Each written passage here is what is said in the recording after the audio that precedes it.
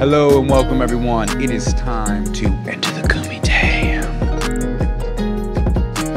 Remember, this is not a sport. You don't play fight. What's up, fight fans? Today we're joined by Julius Holmes. He is headliner at the fight coming up at XKO 55 on February 18th. Julius Holmes, thank you for coming in, man. How are you feeling right now leading up to the fight?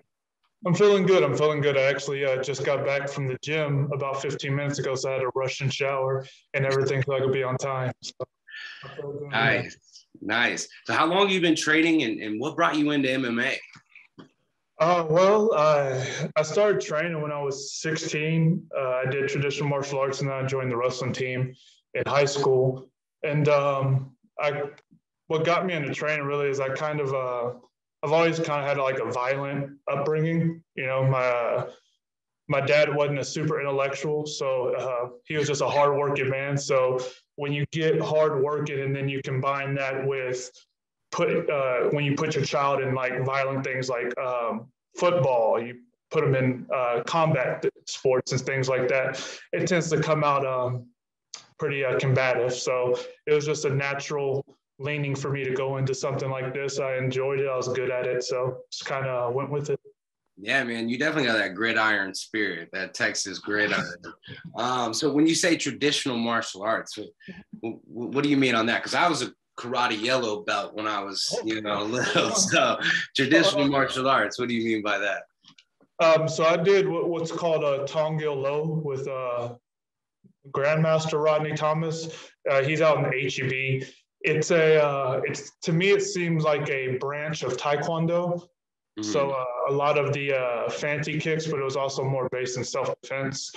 And so I, I started i did that originally for about two years and then i went to wrestling and then i pretty much just stayed a wrestler until college. Yeah wrestling base man is just the lifeblood of mma dude. That is that's the best foundation to have i would say. If you if i could pick for any potential fighter to start off with, I would usually suggest wrestling just to have that foundation and then really branch out from there.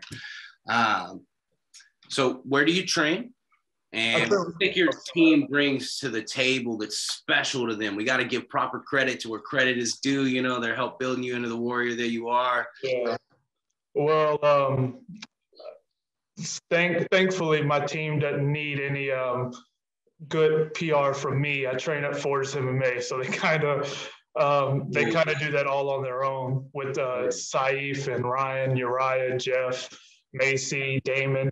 Again, there's 19 people in the UFC, 20 people in the UFC, with uh, Fernie, uh, Fernie Garcia going in on the last contender. So yeah, they uh they do well. It's uh yeah, this last five years, Fortis has been coming up on the map. You name it in uh, Fort Worth. I've trained with uh, Genesis. I trained with F3 uh, under Johnny Bedford. I trained with uh, Lamb Striking with Derwin Lamb. So like I've had a fight. I, I've had I had a fight under my traditional martial arts instructor. That was mm. actually my first amateur fight. Okay. So shout out to all of those guys for because uh, I learned lessons along the way, and no matter what level you're in or where you end up, you do learn from each teacher that you come across. So mm-hmm. I've trained a lot, but Fortis is definitely um, the best the best place I've been.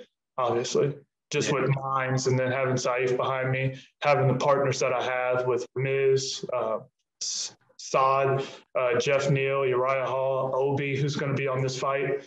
You're training with Geoff Neal and Uriah Hall too. Dang, man, that is that is amazing. Do you have any side hustles or anything you do while you're advancing your career just to, you know, keep bills paid and everything like that? I train. I do training and stuff like that. But other than that, just focus on fighting. Really, um, I've been blessed and fortunate enough to be put in a position to where I can focus on training. Uh, most people at my level do not have that um, opportunity. So good man, make the most of it. I, I believe in you. Um, so you had a rough start of your professional career. Yeah. Your first two, but I mean, this kind of experience would have deterred a lot of people that have that rose tinted glasses about their life, dude. But you picked yourself up by your bootstraps and you've been on a tear. I mean, you beat Mario Nelson and even Clinton Williams at, yeah. Williams at middleweight. And I was like, it's like I didn't know he was fighting at 185. I mean, you filled out pretty nice for a middleweight, but uh, I mean, that shows your true fighting character, man. So, what drove you to take those losses and turn them into lessons to move forward? Well, um, I don't, I don't really uh, see myself as above anyone else in the aspect that it did deter me. Um, after those first two losses, I think I didn't fight again until 2015 against Jesse Palmer, and um, so I definitely did get deterred, and it definitely did um, set me back a little bit. But I'm very thankful for it because I did have those rose rose tinted glasses that you uh, spoke on, and the the problem with that is that reality doesn't give a shit about what your vision or perspective is. You know, there's uh there's only one thing that is that can maintain successfully in reality, and that's the truth. And the truth of the matter is, is that I was pretty much just a brute. And so when I went up to professional, um, I took my first professional fight on six days' notice, and I cut 26 pounds. But since I was just a brute, and I, I pretty much we were just going to fight, and um, yeah, I had a, I had a great um, killer instinct, and it was that if you, if the ref doesn't stop this, if you don't quit, then you'll die in this ring. That's and I'm okay with that. That's perfectly fine because I expect that you would do the same to me. Yeah. And, but the issue with that is, is when that's not backed with skill, you see what happened in my first two fights when you make piss poor decisions. And then you also run into someone who's skilled enough to avoid you until your energy runs out. And so it, uh, it taught me very valuable lessons and it just set me on a path after that that completely reframed my mindset. And so now becoming, like I said uh, before we started, I did grow up like in a pretty, like I grew up a violent person. Like I just, I took to violence. And so becoming an intellectual, which um, focusing on becoming an intellectual the past five, six years, it kind of took me away from that. And so now I'm going back to that and it's finally going to have I finally am piecing together the killer instinct that I had mm. with the intellectual capabilities that I've grown to uh, learn and use the past six years. So, yeah, man. And I would say if I could choose a time to take some hardcore losses to learn from it, I would like it to be in the beginning, you know, rather than later on in your career and you have this whole fantasy in your head that you're invincible, you know. Yeah. Now you've like seen that you're not invincible and you're you know you've worked to fill those gaps. Yeah. You know, just make yourself really hard to get out of there. Um, this time you're coming up against a veteran in chris pecero i mean we want to talk about high profile fights. This dude has fought people like james vick Alexander Hernandez, Damon Jackson, all of which are in the UFC or have been in the UFC. So, what would a win over someone like this mean to you? And do you think XKO wanted you to take this fight to try to build your name off of him as a potential prospect? Uh, well, that's a little bit of a tough question. Um, well, to get to the first point of what I see this doing for my career, um, I see it doing what every other win that I've had do, does to my career. Um, I think XKO made this fight because uh, he he had to come he had to come up to 170 because I just he his career. Um, and I was looking for a fight at 170 and it matched perfectly. Um, I there, when you accept a fight with someone, there's a lot of assumptions or presumptions that have to take place. I'm not a fan of assumptions because it's usually not back with any um, any thought. So my presumption uh, for why they did that would be because he was uh, confident. Let's go with confident. Confident enough to take the fight with me. So. I mean, Chris Pecero is really good. So I feel like this is a, is a really good test, like for where you're at. You know, see if you're ready for that that next caliber. Uh, and you've definitely fought like Mario Nelson's no joke. That dude is fast, he's strong, and he's very well rounded. When you're in there, do you view this as a war and your opponent is your enemy, or do you have more of like a sportsman like mentality where this is a competition? Well, I mean, it's kind of like most things, it's both. you know, it's a spectrum and it is a competition 100% you you be fooling yourself this i've never been in a war to where i agreed to meet a person at this specified weight on this specified date in this specified venue and we're going to have a bunch of people watch and if it gets too crazy we'll have somebody stop it. Um, I've been in a lot of battle situations, and none of them have ever been that um, uh, civilized. right, right. So it's definitely it definitely is a competition, but it's uh it's by far the most warlike competition mm-hmm. because if if I don't break him and if I don't make him if I don't cause him to rethink everything that he previously thought going into this, then it could end up bad for me. And I've got enough scars on my face. I'm not that pretty as it is, so I can't mess it up anymore, you know? Was there anyone specifically that inspired you to become a fighter? Was there someone that you saw as a young man and thought, like, I can do that or I want to do that? Um, uh, I mean, that sheesh, that list is so long. It's I have, there hasn't been one individual that's caused me to fight. Like I said, I just kind of took to it. Um, like combat was just something I grew up with. So I already kind of had that natural comfortability in in such in a such in such an environment. And so when I saw it on TV, I thought it was cool. And then I found out I can make money off of it. So it's, it seemed like a simple living. It was yeah. just to go uh, be a zoologist and let's be honest, man, 12 years of school was way too much for me. Yeah, that's a long time, dude. That's and a lot of money later. why why fighting? Why is it that you you chose to pursue such a path that challenges the limits of your spirits and your self-confidence?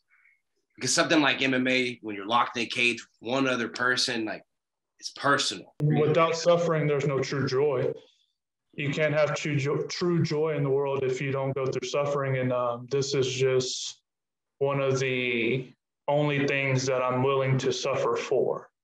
Um, the society that we live in, suffering is very avoidable.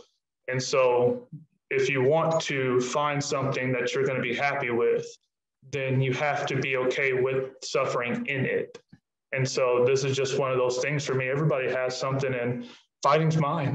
I, I have such a love for all my opponents after the fight, and I have love for their family throughout the entire process.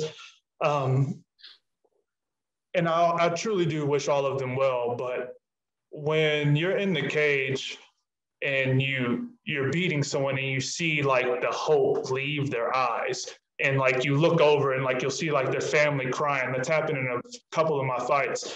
Like it's just this weird primalistic thing that's uh, hilarious, joyful. Like it's it's a lot.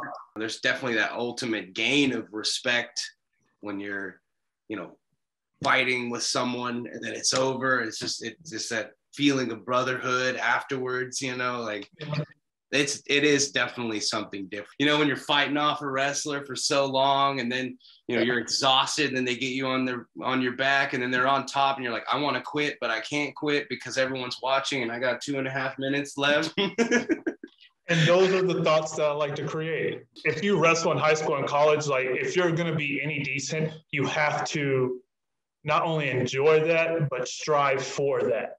Because wrestling's filled with so many psychopaths, man, and it's so many. Like there's six, moves, there's probably like six, seven moves in wrestling. So it's not who knows the most moves; it's who does the move that I know you're going to do. Mm. But I'm just so good you can't stop it.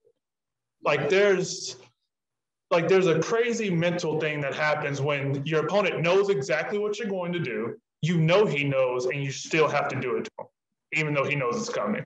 Yeah, yeah. yeah, wrestling's something else, man. I think it's a little slept on today. Like people who don't know, it's like, no, yeah. when you're getting out wrestled, that that's exhausting. Have another man, you know, put all their weight on your chest and your face. Shoving your face into the ground. Yeah. Yeah. Wrestling will never be mainstream because it's too hard. It's too difficult to do. It's, it's so. very difficult to do.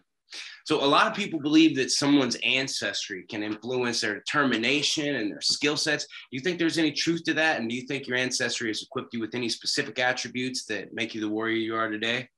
Uh, no, not at all. Um, I guess I might have a skewed perspective on that being mixed. Um, uh, my, I think my family's from Western or Central Africa. My mother's Armenian, So, uh, but they both grew up here in America. So it's like, mm-hmm. no, not at all. I don't think, I think your, uh, I think your society can play a part in you becoming a warrior, but your ancestry means close to shit. I mean, I like, no, like a hundred, a couple, a hundred years ago, Americans were fighters. Mm-hmm. You know what I mean? Like not even a hundred, not even a couple hundred. Like literally 80 years ago, Americans were pure fighters. Mm-hmm. Eh, it's hard to find fires in the society now. You know what I mean? So it's definitely changed a lot in terms. Yeah. So I think your society plays a part, but not your ancestry so much because things change so much as societies grow where are you going? Where do you where do you where do you think you'll see yourself in five to ten years? And if you could choose any MMA organization to be a part of, what would it be? Well, in five to ten years, hopefully I'll be I'll have the belt or be fighting for the belt in the UFC. Um, there's at this current moment, there's no other point in doing this. So, I mean, the, until another organization rises that can give you uh, true freedom in life, which, and what I mean by true freedom is that you, the choices that you make throughout it, uh, throughout the day are your own. And that's every day, years on end. True freedom to me is having the money to uh, not have to think about what you're going to buy so much and not have to worry about what you can do. So until an organization other than the UFC can give you that true freedom, then it's that's just kind of like the uh, the obvious one. Yeah. But if something else comes up, or if one FC rises, I'll go to one. I don't. I love Asian culture, whatever. Yeah, me, and one one FC is doing really good. Yeah, making two videos free to watch, and they're doing all these like clickbaity headlines and stuff like that. Like they're getting a lot of eyes on them now. So one yeah. FC is definitely coming up. You know, I do like PFL. I follow PFL as well. Yeah. You know, if you win the tournament, like the bracket tournament, then that's a million dollars right there. Um, but yeah, UFC is definitely at least regarded as whoever the UFC champion is is the best fighter of that weight class right world, and there's yeah. just nothing that anybody can do about that as of right now yeah um, i mean there's probably like two weight classes that that's arguable Right. You know? Exactly. Exactly. Shout outs. Uh, obviously, thank you, Fortis MMA, um, Coach Knuckles with Team Autocanas, uh, my strength and conditioning coach, David Eli Quintana. Man, just thank you to my team. Hey, it was nice getting to sit here, learn more about you. I'm definitely looking forward to this fight. You definitely got that gridiron spirit, man. Everyone, this is Julius Holmes. He's going to be fighting on February 18th, headliner against Chris Pecero at XKO 55. Make sure to tune in. Thank you, everyone, for entering the Kumite with us here today. Remember, guys, this is not a sport. You don't play fight.